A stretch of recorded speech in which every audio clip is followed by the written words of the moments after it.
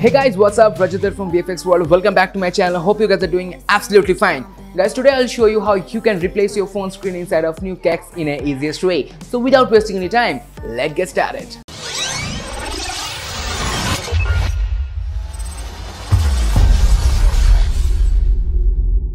So right now we are in Nuke and as you guys can see this is green screen footage and let's play this first okay so guys this is a footage and if you guys really need this footage link is in description. Just go and download. What you have to do? You just copy whatever i'm uh, pasted in my description and just paste it over your video description. And don't forget to press that hashtag vfx world.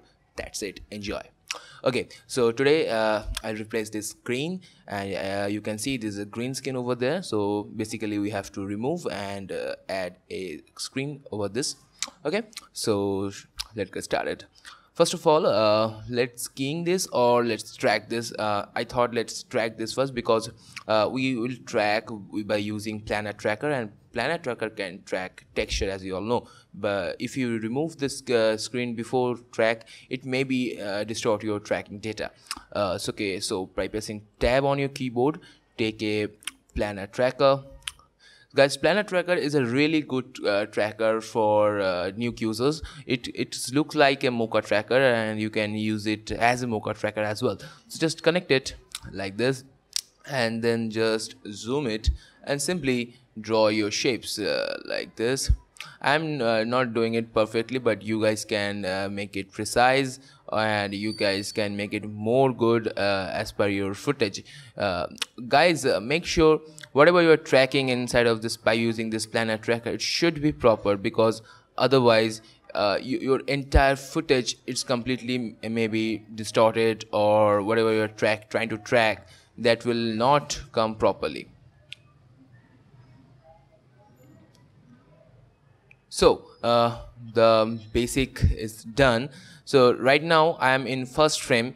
Uh, guys uh, one thing i want to tell you that uh, if uh, if you want to track by using this planar tracker make sure you you you're doing it in the right way because planar tracker if you uh, draw the shapes on the first frame and just you shift it over there in the last frame it will not work. Okay so whatever you are doing make sure you have to do that only that frame only. So uh, now let's play this so when you press this play button it will start tracking.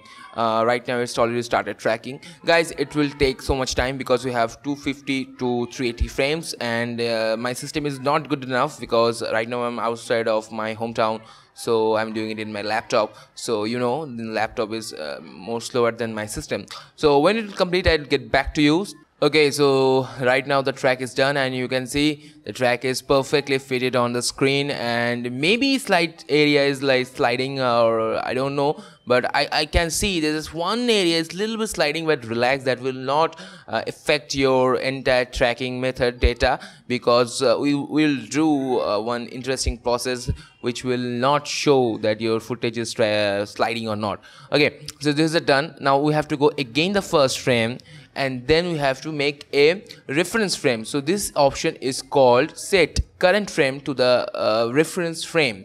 So what means like whatever we are doing we're doing in first frame right? So if you paste any footage in the first frame that will ca calculate the first frame as a reference frame. Okay so just select this option and click it. When you click this option do not move anything in anywhere. It may be crash your nuke.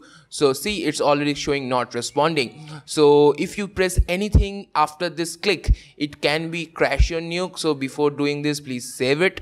See right now it's done. So do not click anywhere. This is a kind of a bug. Okay so now the track is done. Let's click here and we will create this corner pin 2d relative. Just click this and you can see there's one uh, option is popping coming up. So right now we don't need this too so just deselect this or uh, disconnect this and connect it to here and just press this X button. Okay so right now this two is uh, left. So no need this two. So right now okay so what we are doing will make a keyer for keying this okay? So by pressing tab take a uh, Keylight or you can use a chroma key anything you want. I am taking a Keylight take a Keylight connect it like this and simply now see the green screen is really good. So we don't need to remove anything uh like advanced keying process just click here. By pressing control you can click anywhere in this footage.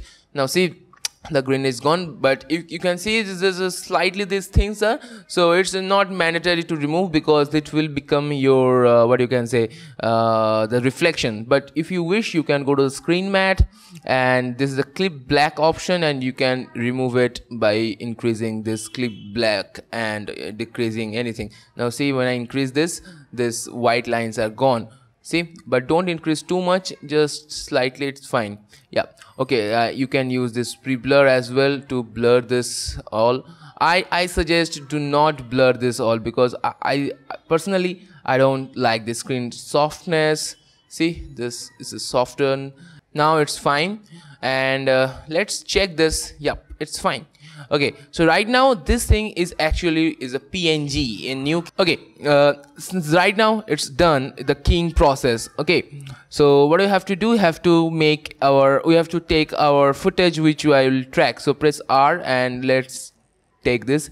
So guys this is a matte painting um, which i have already done before tutorial. We don't uh, those guys who still not watch this matte painting tutorial just go and watch my matte painting tutorial which is really amazing. And um, you guys can learn interesting process about matte painting. And yes i'll make one more matte painting tutorial which will be based on advanced matte painting because this is a completely uh, simple plate matte painting. And uh, those who guys still not watch my planar tracker process how planar tracker is actually working detailed planar tracker tutorial link is in also description. Just go and download. Even you can see in this area there's a pop-up over there the card over there link also over there. Just go and click. Okay so this is a matte painting. I want to paste this matte painting on the screen okay? So what you have to do just click it here. I'm just arranging okay? So and then take this. Now the basic idea is this is obviously the uh, foreground one and that this will be a background one. So guys make sure this concept should be always clear because so many guys are asking me how i can understand which pipe should connect in which area. So press m on your keyboard to the called merge and obviously we know this is our foreground and this is our background. So obviously this will connect a will connect to this and b will connect to this right? So when you connect this you can see both screens are actually same areas. Okay so this is fine. But now the screen is in full. You see? Okay so what I have to do? I have to take a corner pin. Okay so just disconnect this two. Now I want to connect this corner pin data to this one. Okay so when you connect this okay my system is suddenly gotten stuck. This is the most irritating part I have ever using this thing. Okay so just connect this to this and when you click one you can see when you play this footage the footage is moving because this movement is actually the phone movement. Okay. So just pause it go to the first frame again. And then what you have to do this tracking data will be connect to this. So just now a should be this and b should be this. Just arrange it properly. Yeah like this. So now when you press 1 you can see this everything is fine. See? Now every the footage is right now moving really well. Cool? Okay now uh, go to the first frame. And let's take a corner pin. So by pressing tab take a corner pin and double click on it. Disable this. Double click on it. And just simply arrange it like this fine. Just do it roughly then uh, press it again and just play. Now you can see the footage is exactly on its own place. I hope guys this pipe connection process you can understand. Uh, if you don't just comment down below that uh, sir i want to know make a tutorial on how to connect that pipes like which pipe should connect in which area. So i'll make a detailed uh, overview tutorial uh, of nuke that will help you to make a good output. Okay. Okay so see the tracking is right now exactly on the same place. Now what you have to do you have to refine this corner pin data and see this corners are actually rounded. Okay not sharp like other phones. So you have to make that rounded as well okay so before doing this always arrange everything in a proper way that will help you to become a good comper okay so uh, right now what i have to do we have to just corner pin adjusting. So first of all i'm just built outside of this area because I, i'll tell you why i'm doing this. Uh, just make it like this. And uh, this this thing no need to go so much outside because this is our screen line. Okay so just make it only here like this. And this one is also like just make sure that uh, picture is not being distorted. So that's our basic concern. So make it like this. I think yeah this is fine. And this should be a little go up. So this is everything is right now done. So now what I have to do we just uh, okay let's save this. So control s save. Yes right now it's saved now uh, I want to delete these edges. Okay so it's a very easiest way guys. Trust me. So what you have to do just press a roto node and connect it to here because now see again the pipe connection process now take a roto node and it should it and it should connect uh, after this corner pin data. Now why i am doing this after this corner pin data? Because i want that roto shape as dragged after this corner pin data and the roto shape can be moved with that footage. So that's why i am putting this roto shape after this corner pin data. Okay? I hope you understand. And make a simple roto node on your screen but make sure this shape should be precised okay? So this is a really important mandatory in fact so just make it precise roto shape. So uh, right now as you guys can see this roto is done. And when you play this see the roto is sticked on his own space. Uh, so if, if you wish you can connect to roto it from here. But i suggest to connect it here because the corner pin data you you are actually rotoing after this corner pin data. Okay. So now go to the first frame and press uh, this d again. So this footage will reveal. Now see still it's still not cut it and you can see whatever i'm doing in the roto here just delete uh, disable this. It's actually the not in screen properly. Okay. We, because the footage is still it's inside of the screen. So just go to this corner pin data and just increase it a little bit so that it can be cut it okay. So don't worry. It's not uh so just make it like this and make it like this. Fine so the basic idea is we have to make this edges round. So right now uh, just uh, just enable this again the roto shapes double click and go to down select this. And just simply you can see these shapes are fine right now. And just simply you have to make from pre-multiply make it RGBA now see this is done. When you press Q to cut this overlay now you can see these edges are not properly done. Relax it will not come and it will not harm your output because we will reveal the phone screen because as you can notice that there is no reflection over there right? So it's completely looking fake. When you play this see it's actually tracked but it's not feel like it's actually a real uh, phone plate so what you have to do you have to reveal that phone reflection. And that's the more trickiest part. In fact the most easiest part and the most uh, lovable part in my entire tutorial. Just go to the first frame and select this two and press ctrl c and ctrl v again. Now we, we are revealing. It's completely revealing process. So press m again. Now this is a completely reflection which is keying process after the keying and all. So this we have reflection over there. And this is a complete uh, output. Okay so now what you have to do the reveal process. So a should pipe go to this and b pipe go to this because the a is foreground and b will be a for background. Then just connect it to this viewer to this. Now see the reflection is revealed. In fact this is already cut it out which is our main edges. So then when you disable this this one you can see this is our basic green screen and the basic this area is actually cut it. So just disable this again. Now you can see what happened okay see disable enable disable enable. And the reflection is coming properly. Okay so i hope you really understand this edges and all how you can revealing this uh, process. In fact this notches areas and all. But if you want you can't reveal this in any other way. Now there is so many ways uh, over there. Uh, see right now we have to color correct edge blur and all. So first of all what I have to do I have to just uh, add a edge blur. So where we are adding edge edge blur we are adding this edge blur after this roto node you can use a feather but I suggest use that edge blur that's it's really good. So press tab edge blur like this and connect it to here and simply its 3 is fine. Okay so edge blur is done. Okay so it's actually right now done. Press one it again to connect it. Now the basic part which you what is called like now see my system uh, sorry my footage uh, frame range is 250 to 380 and my matte painting starting frame range is 1 to 300 so when you play this after 50 frames that like 300 frames you can see that uh, output will be stopped. Now see this is the first 300 frames and this is 350 frames.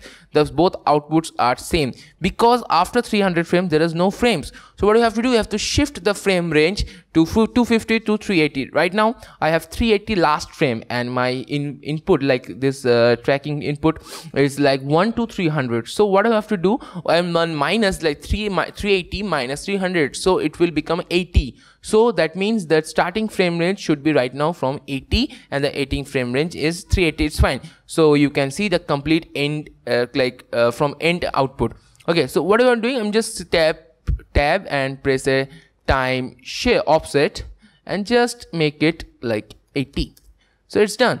So when you go to the last frame you can see the last frame as well see? And when you go to first frame it's already from 1 to uh, 79 frame is already cut it but nobody which was not needed. And then after that we can use this complete output. Okay so this is actually right now done. Now you can make some color correction by pressing uh, grade or something else you wish. Just color correct your now see the background is so much bright okay? So every time every time notice that whenever you are doing color correction make sure if your background is too bright for phone purpose then obviously your screen always should little darker. So it's feel like a natural. Right now you can see this feel is more natural when you press disable this this is so much bright which is not real in real life.